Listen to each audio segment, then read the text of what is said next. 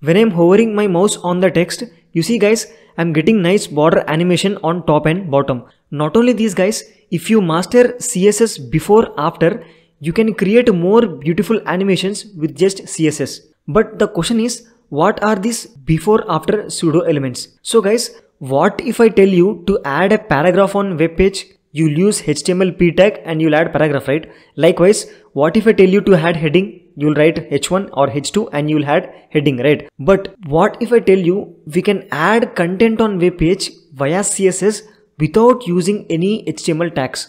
So that is what these before and after elements guys. These are the pseudo elements or pseudo selectors by which we can add content on a web page via CSS without use of HTML elements okay? So enough theory. Let's create this animation. So here i have taken a container and in that i have one span element which is hello and i have given a class hello to that. Okay? And here first i have removed all the extra margin and padding and then i have taken container and applied flex on that because i want to center it. And I, and i have taken height as 100 vh so no matter what screen size you are using uh, my container height should be 100% and for the hello i have taken a white color and font size as 20 pixel. Now let's go to browser and see yeah. You see guys we got our hello text in the center. Okay? Now first thing what i'll do is that let's take hello right? And let's write before. So the syntax is two double colons and then we will write before. Okay? And let's open curly brackets. Yeah. So the first and mandatory property that we need to write is guys content. Because we need to tell browser what we want to add right? So i'll write here content right? And then i will write here hi okay something. Now let's go to browser. So yeah you see guys we got hi here. Okay that is what i'm telling. So basically what we are doing is that here i have hello text right? So if you use before and if you add any content that will come and sit here. If you use after pseudo element and if you add any content that will come and sit here. Okay we'll talk about this position relative in some time. But this is what the concept is. Okay so let's go to vs code. Yeah and now let's give some background color to it. So let's write background. Sorry first let me give here this one. Yeah background. And then let's write color. And the color will be fc f6 f5 okay? And let me go to browser. Uh, where is that? Yeah you see we got the background color. Right. Now what i'll do is that i'll copy this one. Uh, maybe i'll paste it here. Okay? Yeah awesome. Now let's change this to after okay let's change this to after. Yeah awesome. Now let's go to browser. Yeah you see guys we got hi and again we got the background color that we have given. Let me go to vs code. Yeah now so whenever we are working with any html elements first we need to know what type of element is that. I mean i mean whether it is inline or whether it is inline block or whether it is block element right? So guys by default before after pseudo elements are inline elements. Now what is the rule of inline element we cannot give width, we cannot give height and we cannot provide margin and padding, right? So that is why we have to use display property and you have to provide inline block, block or position as absolute or relative, right? Based on your requirements. Now here, what I'll do is that I will use position. So I will use position and I will, I will give it as absolute absolute okay awesome. Now let's go to browser. You see guys our our before text is little bit overlapped on hello. Okay so let me go to vs code. And now i can give width height top right whatever the positions i want. Okay so what i'll do is that first i will give width as 2 pixel. Maybe let's say 2 pixel. Okay and let's give height as 5 pixel something. Okay and now let's give a position as top 0 awesome. Now let's go to browser. Yeah you see guys we got width 2 pixel height 2 pixel but our before element went up and sat there. Why? Because i have given top as 0 and it is counting from this top position. But i, do, I don't want that right? So that is why i will give hello as position relative right? If i give it position relative now this before element this before pseudo element will behave according to its parent according to its relative element that is hello okay so now if I go to browser, you see it came back again here and it is in and it is in the top. Why? Because I have given top 0. It is 0 pixel away from hello. Top 0 pixel away from hello. Okay. So now let's go to VS Code and I hope you guys got the clarity. Now let's give one more property which is very important that is transition. So let me write t r a n s i transition okay and guys this will take four parameters or four values basically. First value is on what you want to apply the transition. Is it width? Is it height? So i want my transition to apply on width.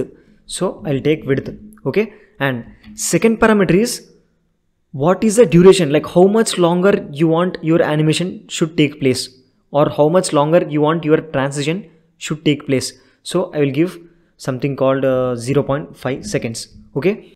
And third parameter is what kind of animation you want. Ease in ease out linear like that. So i will give ease okay?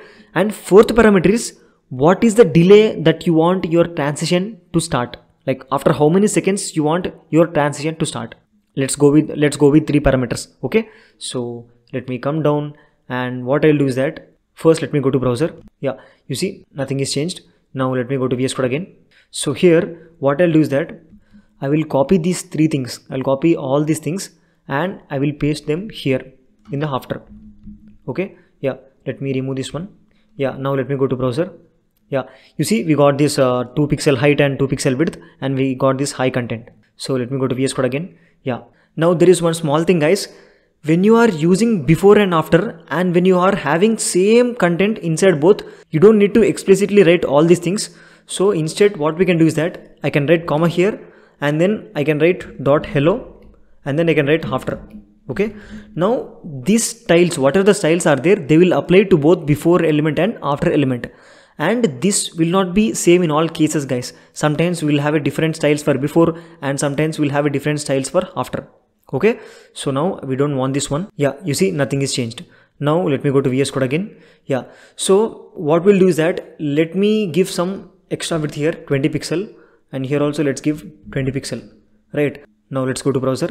Yeah now you will understand what we are doing okay? Now next thing is let's take hello right? Let's take hello and let's write here before. I'll take before.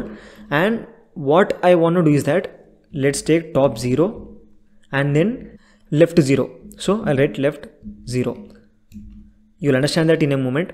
And let me copy this one and let me paste it here. Okay? And after what I will do is that I will write here after. And here I'll give opposite. I'll give bottom bottom and here I'll give right. Okay? Yeah. So the reason we are doing this is because let me go to browser and let me go to this image.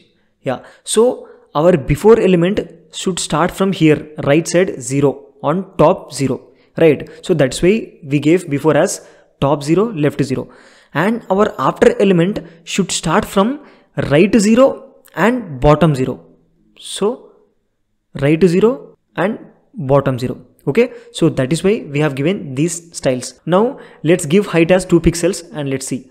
Let's go to design once yeah you see it is like this now. Now let me go to vs code and let's give height as 2 pixel. Uh, yeah 2 pixel. And let's remove this width. Let's give 0 pixel. We don't want width and here also let's remove hi guys. Let's keep empty. So whenever we are working with any designs and when we don't want any content in the before and after elements we should just leave it like that. Okay? So you see we are not seeing anything because we have removed the content. Right. Now the final thing is let's take here hello and let's write hover here and let's take before. Okay? Before and comma dot let's take hello again and let's write hover and then let's write after here okay? And inside this let's take width as 100 percentile. Okay? Simple. So basically what i'm telling is that when i'm hovering on this hello text before element should have width 100 percentile. So first first width is 0 right? Next when i'm hovering on this hello text after element width should be 100 percentile. And there is one thing guys here we don't need top because we have already given top 0 here. So let me remove this one. Just to explain i have written there. Yeah awesome now let's go to browser. Yeah you see guys when i'm hovering you see they're getting this nice animation from top and from bottom okay? So before width is 0 but when i'm hovering width is 100 percentile and height is 2 pixel same. So let me show you once. Where is that width? Yeah. So for now, let's take width 3 pixel. Okay. Now what will happen is that if I go to browser, you see before is sitting on left side corner with, with width 3 pixel and after element is sitting on right side corner bottom 0 with width 3 pixel. and when i'm hovering width is becoming 100% L. so basically this is what we are doing. So if i go to vs code and let me remove width 3 because we don't want to see that first. Okay? So let me go to browser. Yeah you see we are getting this nice animation. So this is about before and after pseudo elements guys. I hope you guys got the clarity. Okay? So i just have one small request guys. If you found this video useful please give it a like and subscribe. I'll see you in the next video. Thank you